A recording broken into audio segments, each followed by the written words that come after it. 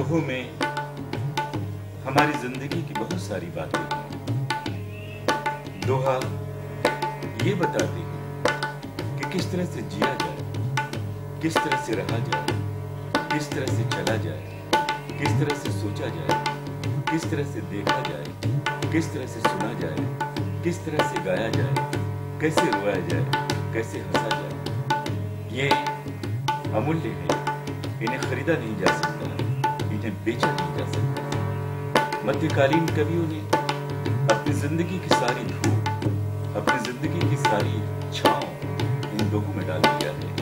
ये दोहे हमारी ज़िंदगी की परछाई है। जो इन्हें जानता है, जो इन्हें समझता है, वो दुख सुख से ऊपर हो जाता है। तरवर फल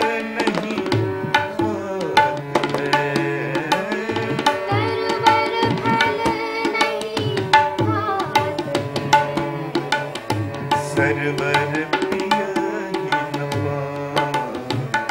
सरवर पिया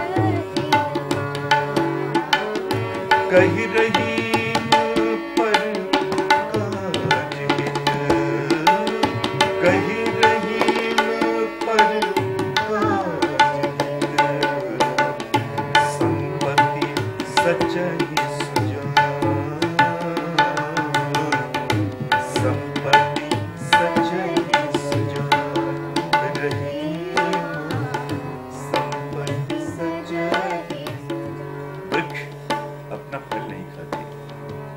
नदी अपना पानी नहीं पीती रहीम कवि कहते हैं कि दूसरों के काज के लिए, दूसरों के कार्य के लिए ही सज्जन संपत्ति, संचय करते हैं।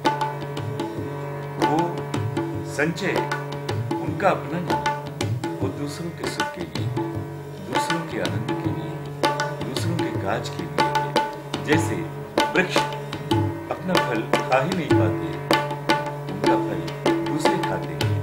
नदी अपना पानी पी ही नहीं पाती। नदी के पानी को दूसरे पीते हैं?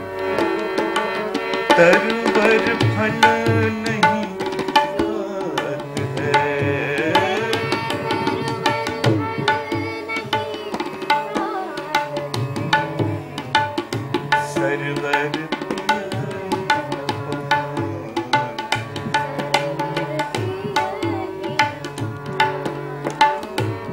रही